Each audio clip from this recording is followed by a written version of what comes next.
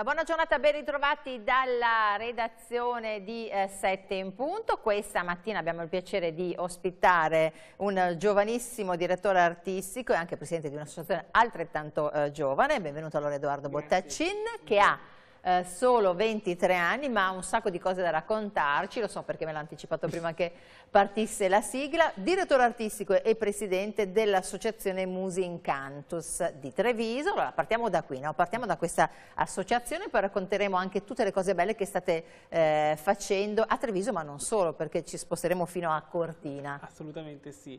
Musincantus è un'associazione che è al suo secondo anno di vita, è nata proprio dall'intenzione mia, di colleghi, professionisti del settore, di creare una realtà che potesse ampliare quella che è l'offerta culturale della città di Treviso e, e, non solo Treviso. È nata con un progetto ben definito dedicato a Rossini nel 150 anno dalla, dalla nascita. È stato fatto un festival che poi fosse legato alla città, perché l'altro obiettivo nostro è sempre creare delle manifestazioni che siano legate alla città, al territorio, che possano essere assimilate come tali, quindi non solo esecuzioni musicali, ma anche riscoperte, valorizzazioni.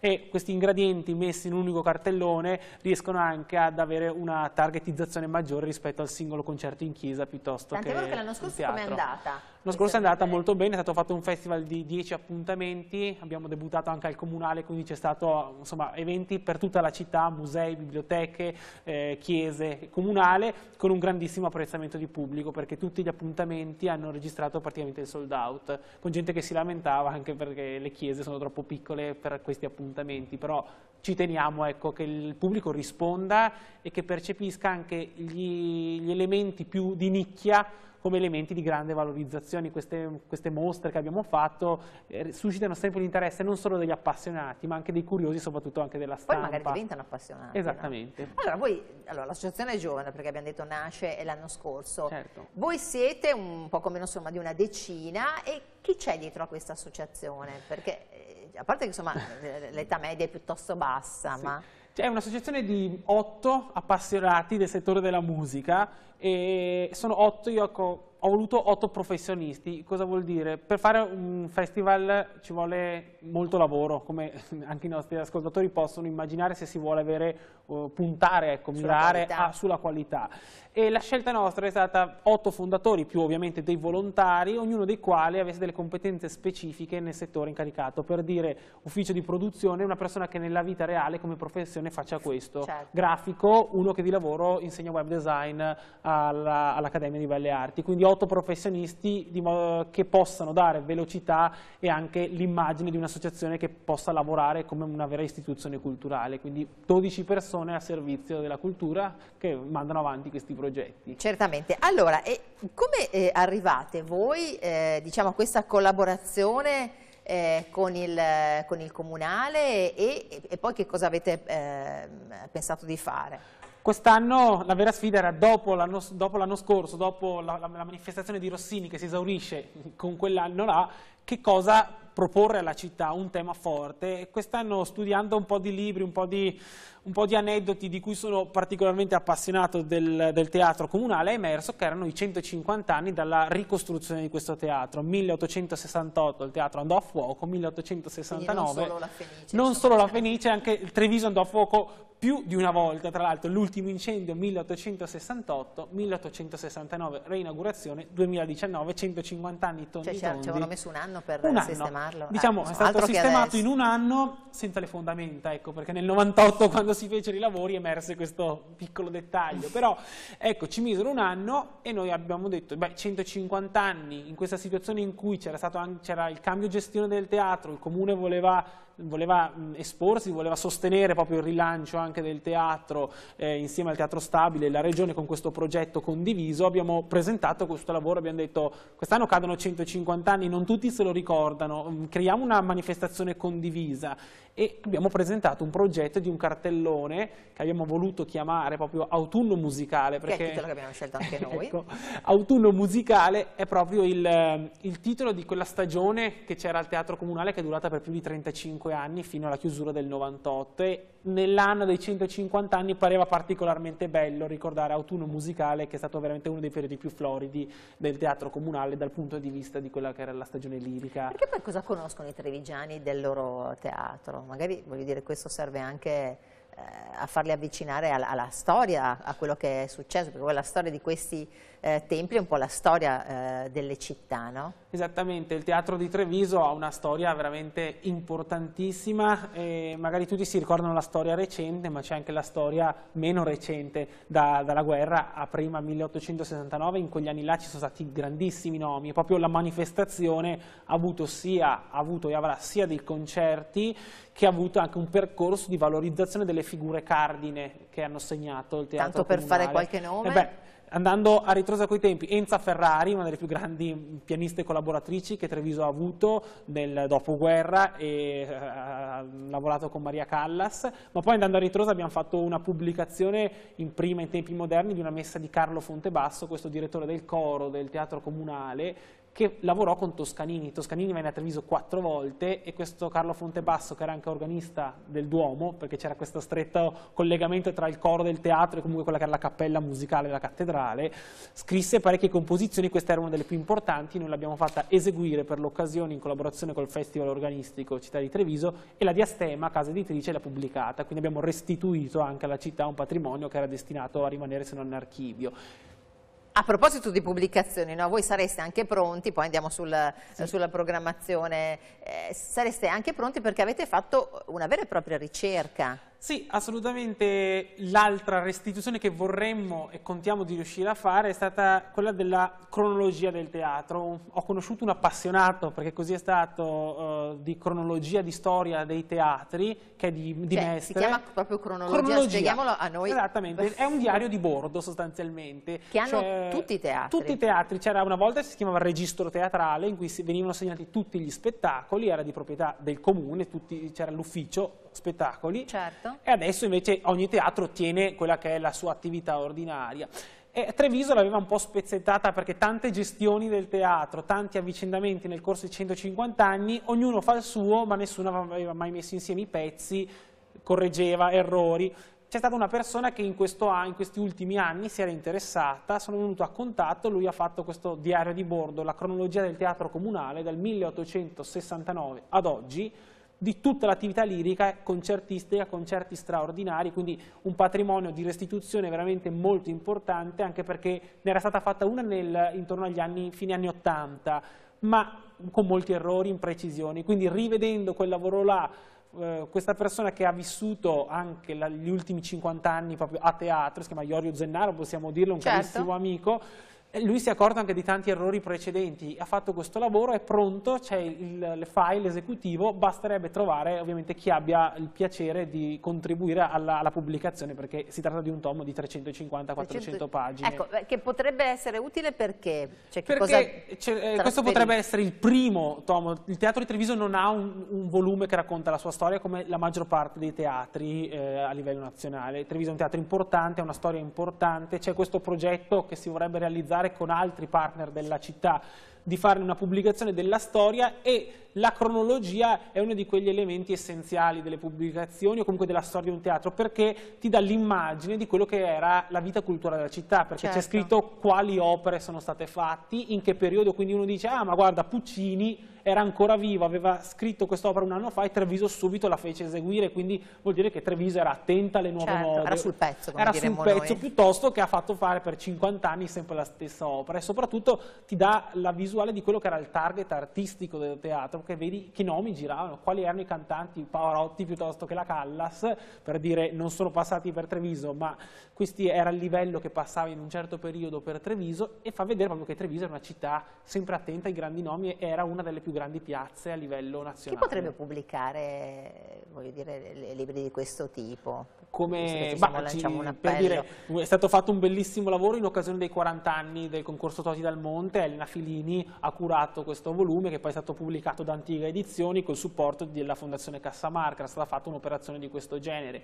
Ovviamente per fare un'operazione di questo genere è necessario un coordinamento a più parti, magari appunto se Fondazione avesse piacere e la possibilità soprattutto, noi diciamo. lanciamo l'appello al Presidente Garofalo e Fondazione Cassamarca di, di concerto magari col Teatro Stabile che è il nuovo gestore, ha appena rilevato il teatro, potrebbe essere anche un bel segno di, di Certo, insomma, perché poi questo importante lavoro insomma, alla fine venga reso fruibile reso anche perché fruibile, certo. testimonia proprio per non perdere la memoria anche di tanti passaggi perché spesso il, il vero problema di questi lavori sono che l'attività ordinaria bene o male è registrata ma spesso sono, è l'attività straordinaria, i concerti straordinari di qualche associazione come la nostra ma tante altre negli certo. anni hanno portato qualche grandissimo nome era straordinaria, nessuno ha registrato questa cosa, se no chi c'era passato, e si perde. Insomma, certo. Tro trovando proprio, guardando l'archivio storico, sono venuti fuori concerti straordinari con alcuni nomi che veramente hanno lasciato di stucco un attimo, qualcuno che ha detto ma come, nessuno si ricordava di certo, questa cosa. Quindi insomma è importante anche per la memoria storica. Sì,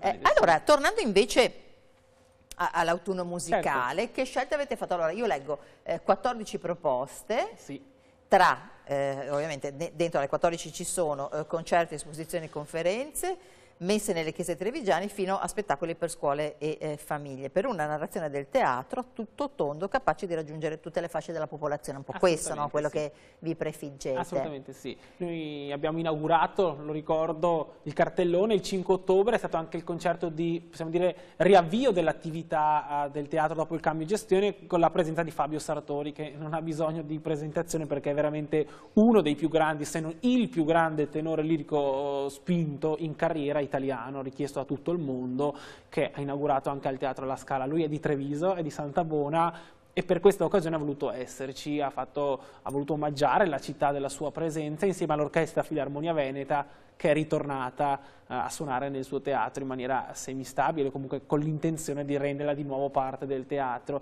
Quindi questo è stato là all'apertura delle celebrazioni con un galà dedicato a Puccini Verdi, un programma curato da Elena Filini, la parte musicale delle scelte, che ripercorresse anche musicalmente i 150 anni, perché per ogni titolo del programma Elena ha trovato gli aneddoti, i ricordi, le, le produzioni memorabili.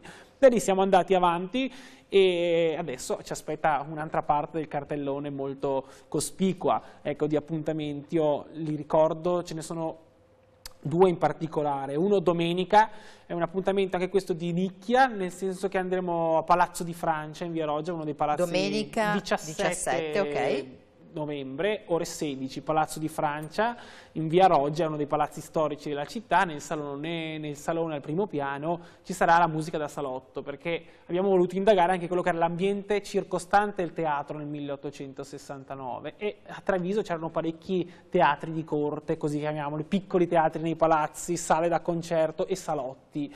E Ma cosa ce n'erano molti, sì? Ce n'erano molti, ce n'era i Riccati avevano un salotto, i Conti Pola avevano un salotto, l'Ateneo stesso aveva nel Palazzo Fi Filodrammatici, aveva un piccolo teatro. C'erano molte realtà eh, che avevano questi piccoli salotti dopo di teatri, non erano veri teatri, erano piccole strutture e, noi abbiamo voluto recuperare un appuntamento di questo genere, una domenica pomeriggio di novembre, come spesso accadeva nell'autunno, abbiamo messo insieme un ottetto di fiati diretti da questo giovane Lorenzo Vignato e abbiamo costruito un programma dedicato a quella che è la musica da salotto, quindi c'è, Beethoven eh, con le variazioni sul tema per Derillaci darem la mano, sempre un occhio a quello che era il mondo dell'opera e dopo delle trascrizioni, perché la musica da salotto erano anche tante trascrizioni di quello che era il mondo d'opera, cioè si portavano in casa quello che era il grande repertorio che poi si vedeva a teatro e quindi abbiamo fatto questa operazione di, di ricostruzione di quello che poteva essere un appuntamento da salotto di fine Ottocento. Piuttosto piuttosto consueto, insomma, da quello era che Era una cosa molto consueta all'epoca, allora. era come, come, il tè delle 5 per i nostri certo. colleghi inglesi. Bello però. E, e, questo è ingresso libero ovviamente, perché l'altro focus di questa manifestazione è che ha alcuni appuntamenti, due grandi appuntamenti che hanno avuto un ingresso a pagamento, sempre con un occhio di riguardo però a tutta la popolazione, ecco, grazie anche agli sponsor che sostengono questo tipo di cartellone e sono parecchi e cui noi ringraziamo, possiamo sempre offrire dei concerti che abbiano dei prezzi che stiano nella media, se non sotto la media per i, i nomi che proponiamo e questo lo dico sempre con orgoglio perché cerchiamo di non escludere nessuna fase fascia di popolazione. Certo.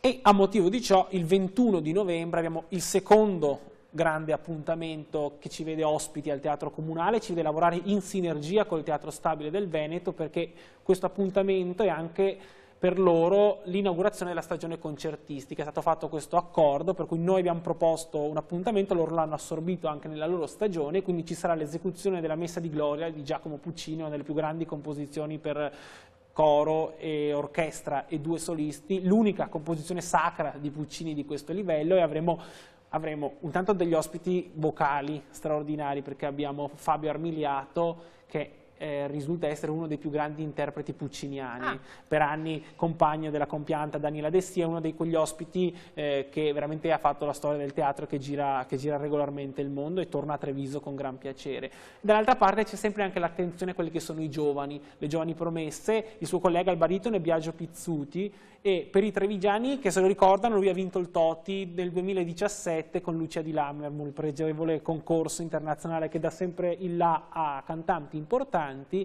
lui ha preso il via a Treviso, quest'anno ha cantato in Arena di Verona, chiamato a fianco a Fabio Sartori, quindi ha fatto una carriera di rapida ascesa e noi l'abbiamo riportato a Treviso in segno di attenzione. Noi mettiamo giovani e non meno giovani. L'orchestra, appunto, è un'altra delle realtà che cui Musica, Musincantus sostiene che ha, ha all'interno delle proprie attività l'orchestra dei giovani archiveneti, questa orchestra di giovani professionisti, stabili, non è un'orchestra che si forma... Perché esiste da molto tempo. Non è un'orchestra che si forma ogni volta che c'è un concerto, è un'orchestra che ha una sua attività ordinaria per tutto l'anno, con prove regolari, attività concertistica stabile. Tra l'altro no? Abbiamo fatto i conti prima, 36 appuntamenti. 36 appuntamenti che sono, che sono Musincantus nel suo cartellone, quest'anno ha offerto 36 appuntamenti tra orchestra, giovani archiveneti e il resto delle attività, quindi un'attività considerevole per essere al suo secondo anno di 8 concerti, attività. Giusto? Esattamente, 8 concerti per, da qui a gennaio per l'Orchestra Giovani Archiveneti in tutto il territorio regionale, quindi un grande successo. E loro suoneranno la Messa di Gloria proprio di Puccini, diretti da un altro grandissimo trevigiano, il maestro Giancarlo Andretta, direttore riconosciuto a livello internazionale, che per l'occasione, ecco qua lo dico sempre con grande orgoglio, lui viene all'interno di questa manifestazione perché Musincantus ha sempre un'attenzione verso i giovani, i giovani direttori, perché sono tanti direttori. Come del resto il nostro ospite. Ecco, grazie veramente. E um, il maestro Andretta, visto il lavoro che è stato fatto con la, alcuni suoi ex allievi, allievi, è stato fatto proprio un percorso di valorizzazione anche di quella che è la scuola di direzione del Conservatorio di Vicenza del maestro Andretta, che è una delle più floride del, del nostro paese. Abbiamo instaurato questo rapporto di collaborazione per questo cartellone Napoleone e lui ovviamente ha detto beh vi do una mano anche io. Ma immagino che poi insomma quando uno vi vede no, sente questo entusiasmo, ricordiamo che, so, che, il nostro ospite ha 23 anni, si può dire perché finché sono così pochi, e, e quando si percepisce no, la, la, competenza anche per persone, eh, voglio dire, non certo preparate come la sottoscritta se non insomma, armate di eh, curiosità, è difficile, immagino anche eh, dirvi di no, forse anche per quello riuscite a calamitare nomi importanti, no? Perché... Mi, auguro che sia anche questa una delle motivazioni, noi, ecco, noi ci teniamo molto alla professionalità, nel senso che come associazione proprio il, il format di proposta, di modo di porsi, è quello, noi abbiamo prefisso, ci siamo prefissi l'obiettivo di farlo come se fossimo un ente teatro, non lo siamo, siamo coscienti, ma di essere il più professionali possibili e offrire ai musicisti, oltre che agli ospiti, un clima di grande professionalità. E questo sicuramente è percepito eh, come un valore aggiunto da almeno quelli che sono stati i nostri ospiti anche in, nel corso di, di, queste due stagioni, l'anno scorso c'è stata anche Luciana Serra che non è proprio l'ultimo dei soprani e anche lei è rimasta molto soddisfatta dall'ambiente, da proprio il clima e il modo di lavorare. Certo. Eh, si vede che anche questo sicuramente ha influito anche col maestro Andretta che proprio ha voluto eh, offrire nella sua prestazione proprio a sostegno della nostra attività e questo è un grande motivo d'orgoglio per noi perché altrimenti queste grandi personalità non potrebbero certamente rientrare in quelli che sono anche i nostri budget certo. di programmazione. C'è anche un appuntamento no, che è bello segnalare, quello del 18 dicembre, perché eh, voi avete voluto coinvolgere anche le scuole, le famiglie, Assolutamente. No? 18 dicembre, Teatro Comunale di Treviso, un appuntamento dedicato a Rossini, al, ai grandi scenografi italiani, Giannini e Luzzati, i loro cartoni sono ben riconosciuti, e alla musica dal vivo. È stato presentato questo appuntamento alle scuole, abbiamo già 400 ragazzi, giovani, bambini che verranno allo spettacolo e in cui ci sarà l'orchestra che suonerà che è la mattina, è la mattina alle ore 11, è aperto alle scuole ma anche al pubblico che abbia piacere a parteciparvi, basta Siccome c'è ancora insomma, qualche posto, volendo... c'è ancora qualche posto, basta richiedere una prenotazione scrivendo a info-musincantus.it anche da fuori provincia? Anche da fuori provincia senza alcun tipo di problema, costa 5 euro il biglietto, quindi veramente una cifra molto uh, low cost. Importante uh, perché? Importante perché, insomma, per, per, questi bambini e per questi perché ragazzini. Perché ci sarà l'orchestra che suona dal vivo, le overture di Rossini, ne abbiamo fatto una scelta di cinque, tra cui anche lo dico sempre per curiosità, quella del Maometto II, che nessuno conosce, ma era l'overture che Rossini ha scritto per la cantata che ha dedicato a Treviso, perché Rossini ha dedicato una cantata ad Antonio Canova e alla città di Treviso, che è stato oggetto del festival dell'anno scorso. Cinque overture eseguite dal vivo, mentre vengono proiettati sullo sfondo questi cartoni di Luzzati e Giannini, che sono stati pensati proprio per essere fatti sulle musiche di questo overture di, di Rossini, tant'è che qualcuno di questi cartoni si chiama Gazzaladra, piuttosto che Barbiere di Siviglia, e quindi c'è la l'animazione che segue la musica dell'orchestra e noi abbiamo voluto commissionare un testo a un'attrice del Teatro Stabile, Alice Centazzo, che facesse un po' da trade union delle cinque virtù, che creasse una vera storia e che questa e che fosse narrata. E quindi c'è uno spettacolo tra narrazione, musica e proiezione che coinvolge veramente eh, tutti gli ambiti anche eh, del, del teatro. Allora, come avete capito, molta professionalità molto eh, eh, entusiasmo, tant'è vero che fate anche altro, no? per esempio appunto dicevamo da Treviso vi siete spostati a uh, Cortina eh, e cosa fa Musincantus eh, in questa sede? Musincantus da quest'anno, da, da quest'estate anzi, da luglio, eh, ha avviato un progetto a Cortina, una stagione di, quest'anno è stata di teatro, musica e Teatro Brillante, prime anche assolute, a Cortina d'Ampezzo, su un progetto che è stato presentato al comune di Cortina eh, come una bozza di progetto e poi è stato ampliato, è stato valutato dal comune di Cortina come quello che, mancava a Cortina, ossia un'entità un che facesse da collegamento tra quelli che potevano essere gli eventi del territorio che creasse una stagione, perché Cortina non aveva, non aveva una stagione teatrale neanche concertistica prima d'ora, quindi Musincantus ha creato la stagione CIME, si chiama, di Cortina d'Ampezzo, insieme al comune di Cortina che ha appoggiato questo progetto, ha fatto una stagione di 12 appuntamenti da agosto a dicembre sta già lavorando alla riconferma per la prossima attività istituzionale. E, mm, questo progetto ovviamente è un progetto ambizioso perché eh, Cortina non ha mai avuto niente, quindi bisogna educare quello che è il pubblico residente a Cortina, ma d'altro canto offrire a quelli che sono gli ospiti di tutto livello che arrivano a Cortina, gente che è abituata la sera prima ad andare al Teatro alla Scala piuttosto che all'Opera di Roma, degli spettacoli di livello. E quindi questa è stata la vera, la vera sfida, fare un cartellone che portasse elementi qualitativi eh, di alto livello e che lavorasse di concerto con quelle che sono le attività locali e le associazioni locali, ovviamente, che meritano di essere valorizzate. Tra l'altro un dicembre abbastanza pieno, vedo, no? Sì, dicembre a Cortina ogni weekend abbiamo un appuntamento, abbiamo, eh, per citare gli elementi più importanti, abbiamo eh, l'8 di dicembre c'è il Cortina Fashion Week e lo, ah, e lo, chiuderemo in conchiglia con un fantastico quintetto vocale della Germania che fa musica pop solo, ah. con, solo con, la voce. Eh, Voxid, Voxid so esattamente alle ore 18.30 in conchiglia, Piazza di Bona, questo è un appuntamento realizzato col Viva Voce Festival che ha preso avvio adesso a Treviso, è il principale festival di musica a cappella a livello nazionale, quindi abbiamo fatto anche delle sinergie.